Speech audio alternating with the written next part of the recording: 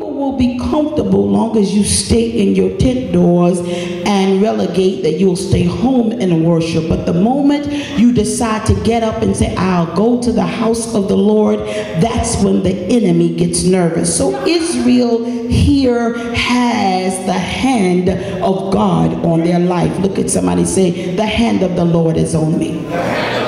When you have the hand of God on you, that means that you are a formidable force to your enemy, no matter what your proclivity is, no matter what the issues that you're being processed through, you still have the blessing of God. And that's what is so uh, perplexing to your adversary. They don't understand that through all of your vulnerabilities, through all of your problems, through all of your issues, God still uses you. God still has his hand on you. God still anoints you. He still blesses you. They don't understand that. And they have a problem not with you, but with God. You just get the effects of their ill will toward God, how can you bless them? How can you use them when they don't really meet the standard of what we say is holiness or righteousness? Listen, I would rather fall in the hands of God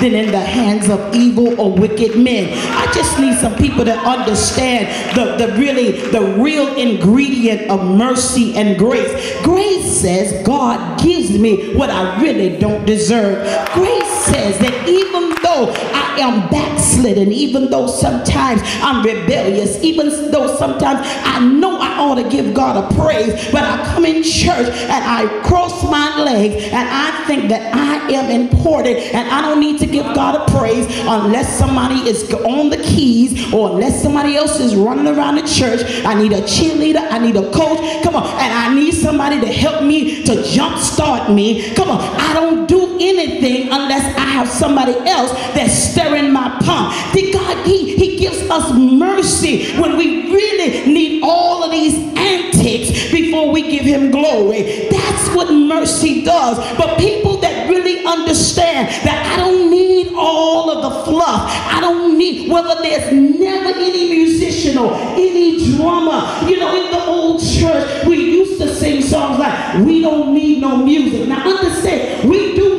need the music. We need you. We need you. We need you. That's not what I'm saying in its context. But we said it from a place of worship that even if I didn't have it because God was the center, I would let nothing distract me. But people are so codependent that they need all of these things, all of this apparatus to connect them to a God that they should be talking to every day. If you talk to God, He'll talk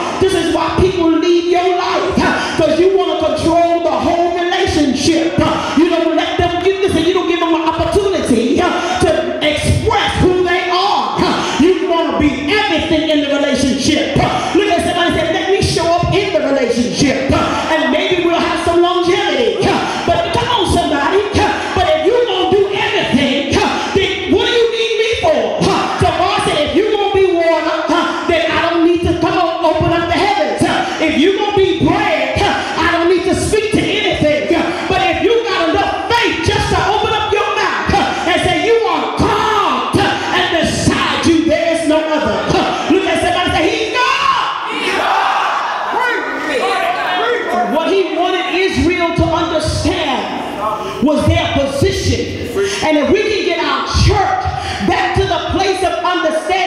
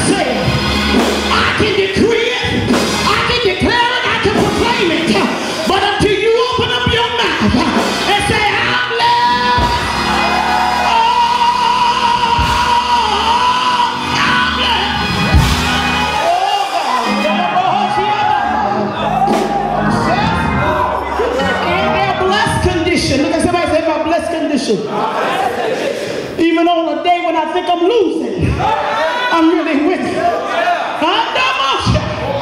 Even on a day when I think that I'll never recover. God, God said, I'm getting ready to give a new report. Look at somebody say, get ready to get, get ready, get ready, get ready. Get ready for great news. Look at somebody say, get ready for great news. Get ready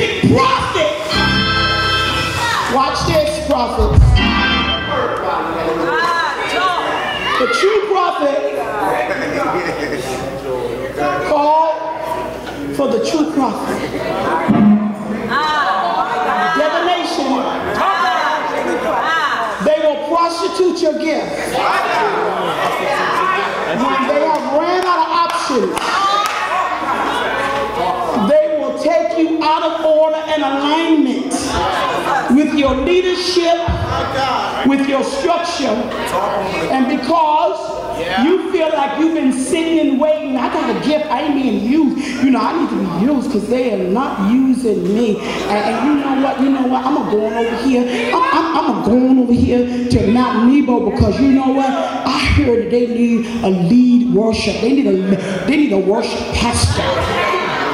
They they they need someone to uh, deal with their evangelistic apartment. And, I got that fire in me. But you didn't do nothing in this house, but you got fire now. Now you got fire. Okay, so you're gonna go over there and you got you got such a burning in your soul. But we got no fruits here, no souls came from the gas station. Nobody came from the halfway house. Nobody came from social services saying, oh, I met a member from your church and they told me that I need to be here on a Sunday, but now you just burn and you just about to burn up, so you're going to go and take it over there, but you got pregnant here, but you're going to go over there and give birth. All right, so you're going to do all of that. So this is what goes on. So, so what happens is he takes the authentic prophet tries to seduce him. Look at somebody and say, anytime there's getting ready to be a capture, seduction will always come first. They will always seduce you. I wish I could get an amen on my left side. They will always seduce you. You look so good. You look so good. Oh, I love that hat. Look at that. hat. You, I never even know you could wear a crown like that. You better be careful with praise. Listen, look at your neighbors and be very careful of what you need. Be very careful of what you need. Be very careful of what you need. Be very careful of what you need. Be very careful of what you need. Be very careful of what you need because what you need could be your plot. That's the bait to get you out. So he seduces him. He says, all right, Midian, and, and here, here, here is the design. It was all about what God told them was theirs. God told them the land was theirs. They only had to go in and possess it. But their enemies saw how large they were, so they joined together to stop them. So when Balak saw how large they were and that they were fearful of them, he resulted in going to get an authentic prophet and said, "I." whatever you want. Position. Position. I'll give you. Wow. Ah, In other words, I'll give you a blank check. Ah. Whatever you want, Whatever. you can have it. Just curse them. Just curse. This is a thin line here. This is a thin line. Oh it's a thin line. This is where we are at the end of this year, where we're sitting, scratching our head, because as I forestated, they know too much. And you sitting in your kitchen, sitting in your bed, and saying, "What made them do that?" Like, like, is it psychology? Is it pathology? Like, what made them do that? My God. Come on. So he goes, he gets on a donkey, and I'm being nice. He gets on, thank you. I'm being real nice at a convocation. He gets on the donkey. And yeah, come on. He gets there. And on his way, come on here. God speaks through a donkey to a prophet who should have saw it. Oh my God. Why would God use a donkey to you when you should have been in a realm to hear from God that you shouldn't have never went? Look at somebody say, you should have never had that conversation with them about me. No, you shouldn't have never told them. No, no, no, no, no, no. You should, it shouldn't have never happened. It shouldn't have never went down that way. I just need somebody to look at me so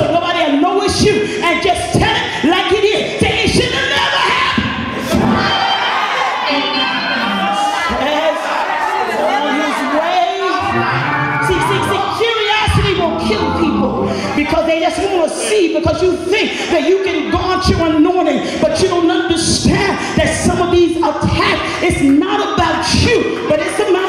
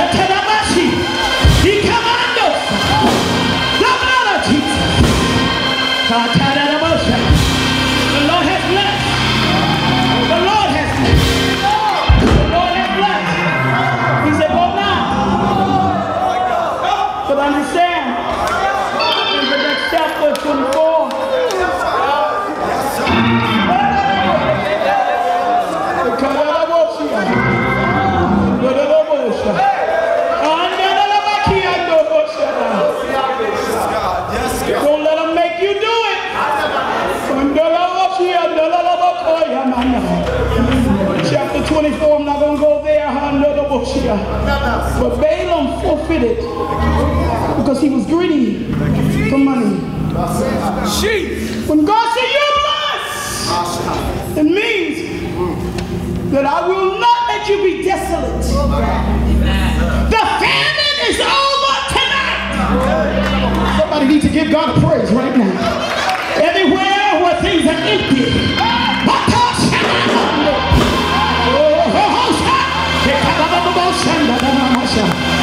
bless the favor. I bless prosperity. I bless with increase. I bless with overflow. You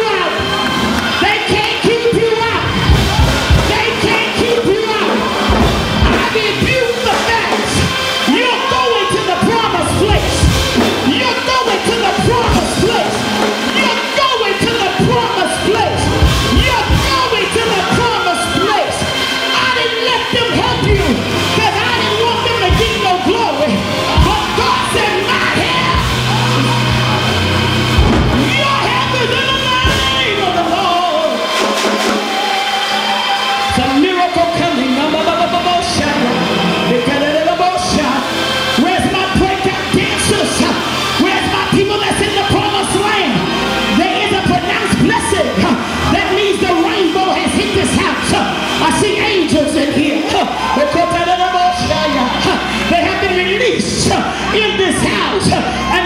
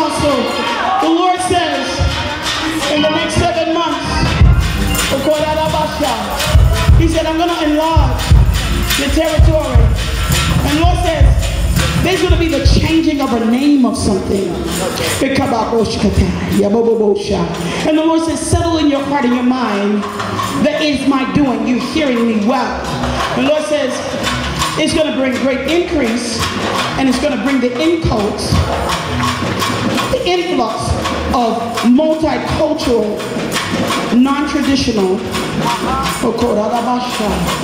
but yet structure, but it's a different dynamic. And the Lord says, I need you to go and set it in order, put it in place, because it's going to work. They didn't want you to cross over on that terrain.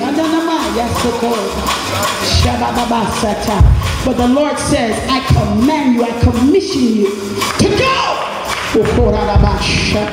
I need everybody that's tied to this man of God to point your hands to him. And I need you to rear back and say, Go!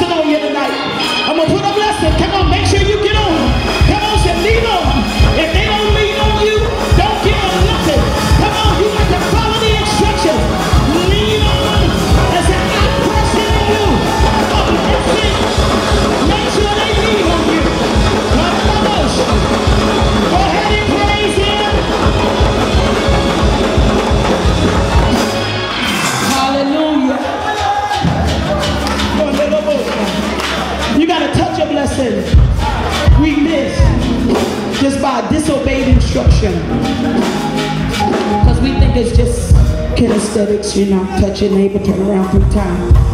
But it's a prophetic move. Prophets come with instructions, and you have to obey the instructions. If you don't obey the instructions, you just get what you get, a feeling. But if you lean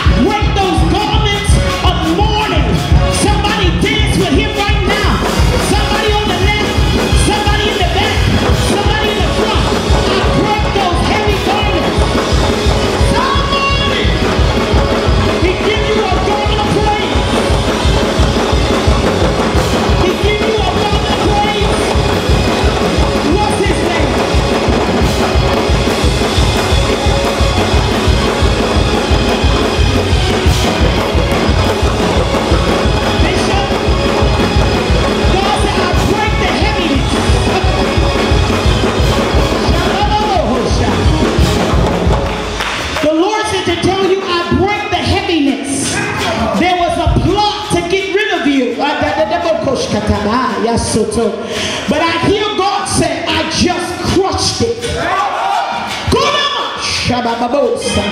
And every evil report that has been submitted, God said, I'm going to turn it into utter confusion. God said, I'm putting a new garment on you. And in the next 90 days, you will understand because you're going to get a different report, said God. So I hear God say, rescind your resignation. Somebody need to give God a shout. Nobody don't want to believe this prophet. God said,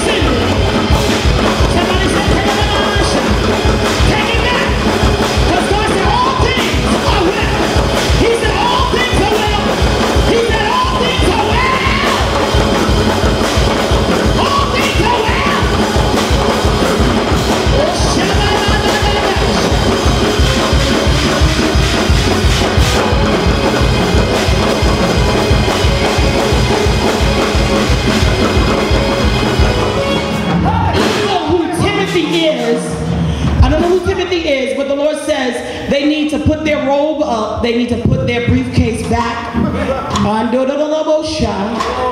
And everything that they prepared to sit, they shall not sit in that space, saith God. God said, I have turned my hand.